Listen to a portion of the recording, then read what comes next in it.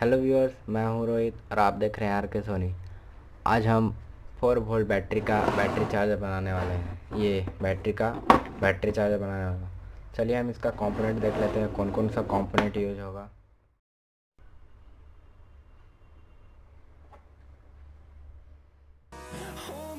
अब हमें एक ब्रिज रेक्टिफायर लेना होगा, जिसका पॉजिटिव पॉइंट ये है, नेगेटिव पॉइंट ये है। पॉजिटिव पॉइंट ये है, नेगेटिव पॉइंट ये है, और ये पॉइंट और ये पॉइंट एसी पॉइंट है। अब हमें एक कैपेसिटर लेना होगा, जिसका 100 यू एफ़ फोर्टी वोल्ट। अब कैपेसिटर का ये है पॉजिटिव पॉइंट, ये है नेगेटिव पॉइंट। ये जो नेगेटिव का साइन दिख रहा है, ये नेगेटिव पॉइंट है, और ये पॉजिटिव पॉइंट है। अब हमें कैपेसिटर का पॉजिटिव और डायोड का पॉजिटिव एक साथ जोड़ देना है।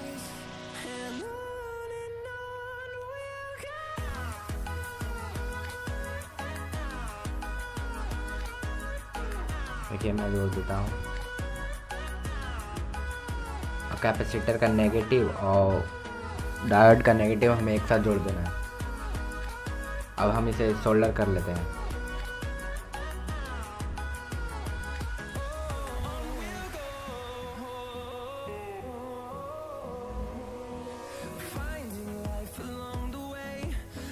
देखिए, मैंने इसे सोल्डर कर दिया।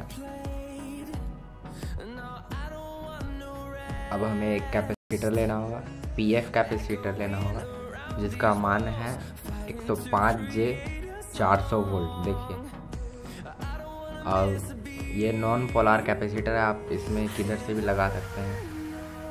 अब हमें एक 470 के का रेजिस्टेंस लेना होगा, और इसके पैरेलल हमें कनेक्ट कर देना जैसे मैं कनेक्ट कर रहा हूँ सही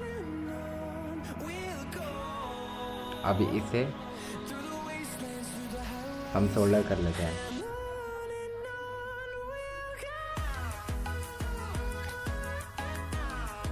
देखिए, मैंने इसे सोल्डर कर दिया। और डायट का जो एसी लाइन पॉइंट था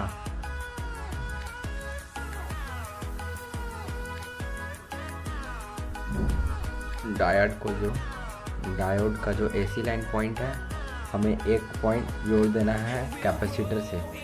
चलिए मैं जोड़ देता हूँ। इस, एक तो डायोड का एसी लाइन पॉइंट और कैपेसिटर का एक पॉइंट आपस में जोड़ देना है।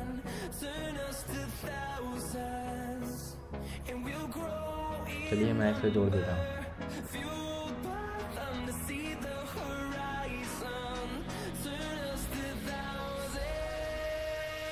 देखिए मैंने जोड़ दिया। और कैपेसिटर का एक पॉइंट हो गया एसी पॉइंट और डायोड का जो एक पॉइंट एसी है, ये एसी पॉइंट दूसरा हो गया।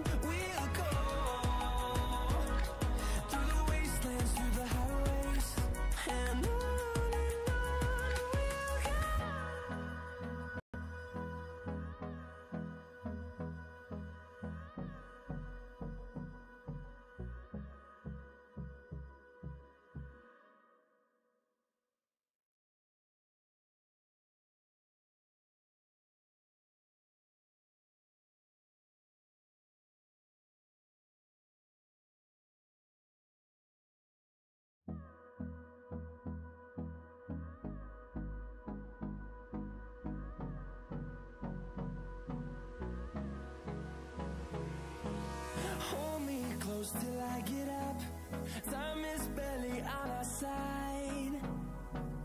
I don't wanna waste what's left.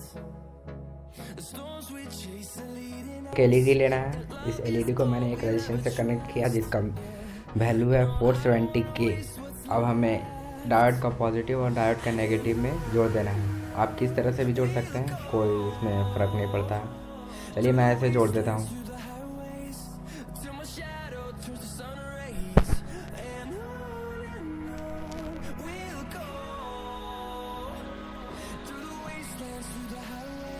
देखिए, मैंने इसे कनेक्ट कर दिया है। मैं एक 5 वोल्ट जेनर डायोड लेना है और डायोड का जो पॉजिटिव है और ये जो डायोड में ये जो नेगेटिव जैसा दिख रहा है, ये पॉजिटिव हो गया और जो बाकी पोर्शन है, वो हमारा नेगेटिव हो गया। तो ये डायोड का नेगेटिव है तो हमें नेगेटिव जैसा जोड़ लेना है। चलिए, मैं जोड़ देता हूँ। और जो डायोड का, जो ब्लैक कलर का साइन दिख रहा है, वो पॉजिटिव है। और उसे डायोड का पॉजिटिव में हमें जोड़ लेना है।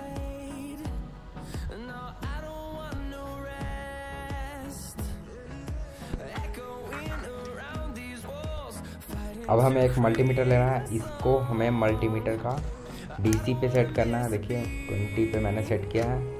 अब दोनों प्रोब को हमें सर्किट के पॉजिटिव और नेगेटिव में टच करके देखना है कि कितना वोल्ट आ रहा है।